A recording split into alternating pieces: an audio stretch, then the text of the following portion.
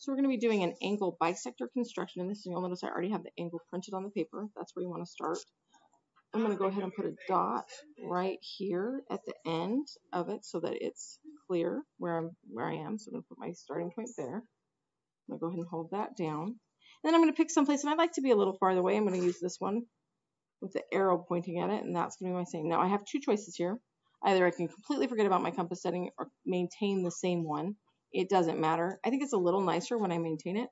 I'm going to move my compass so that it's at this intersection between the two, the arc and my original angle, and make an arc mark somewhere in the middle of my angle. And I'm going to move over here. Again, same compass setting, and there I am. And so once I've done that, I have this point and that point. Those are my two fixed points. I'm going to connect them. And I have made the cut this angle into two equal pieces. It's perfect. So that's the angle bisector.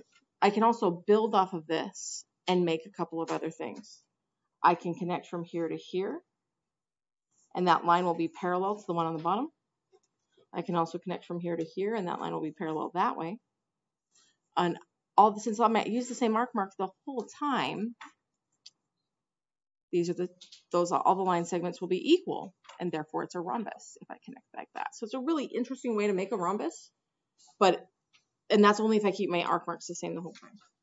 But there you go. That's basically it. It's pretty straightforward. I hope you had a good it was helpful.